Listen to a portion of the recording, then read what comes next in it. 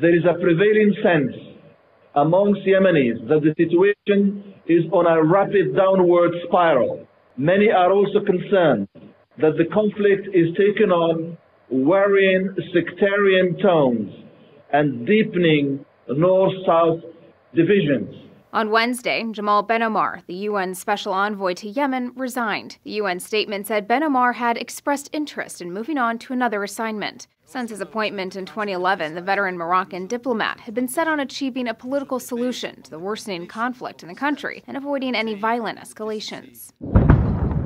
In the end, it didn't work, and now Yemen is sinking deeper into a war between Houthi rebels and a Saudi led coalition intent on righting the country's government by force. There were prospects you know, for peace, and then uh, now this transition is in disarray. The country is in a state of civil war.